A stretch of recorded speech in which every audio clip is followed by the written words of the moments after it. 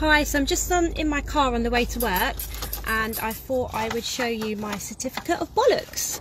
This is my certificate of bollocks and it says this certificate, well it says certificate at the top and then it says this certificate certifies that Louise Hampton made a difference to patients NHS COVID-19 response. Thank you signed 25th of June 2020 by Kevin Brown, the National IUC Director. Okay, and I also got a badge as well.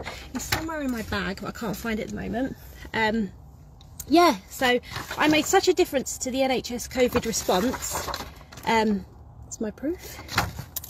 I have my uh, NHS badge there. I'm an NHS worker.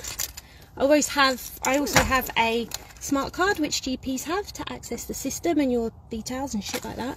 Um, so yeah, I'm, I'm an actual NHS worker and apparently I worked really hard during COVID. Did I bollocks? That's why it's a certificate of bollocks because our service was dead. We weren't getting the calls. It was dead. COVID is a load of bollocks. So this is my certificate of bollocks for everyone to see. Okay? And I didn't clap for the NHS. I didn't clap for myself because why would I clap for myself when I did fuck all? There you go. I'm on my way to work. Love you. Bye.